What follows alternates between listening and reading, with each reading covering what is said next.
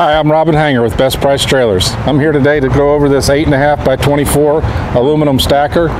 The trailer, this one comes with a 24 inch ramp flap. The dovetail, instead of it being built into the trailer, is built into the ramp door, allowing for low clearance of cars. Comes with a 6,000 pound Titan lift.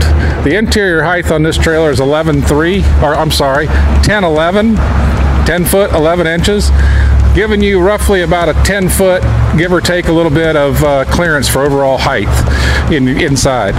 It has a coin rubber floor. Um, it has triple 6,000 pound torsion axles spread axle design, individual fenderettes. It's got uh, a slide in, slide out step. It's got 48 inch side door.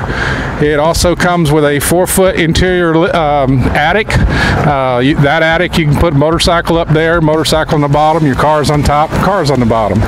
It also comes with a triple tube, six foot tongue, all aluminum, um, a bulldog coupler and the wiring for the uh, lights and all are run inside of the frame to uh, allow for um, a good clean access and, and uh, it also has a flat front and cast corners and I am Robin Hanger with bestpricetrailers.com. Thank you.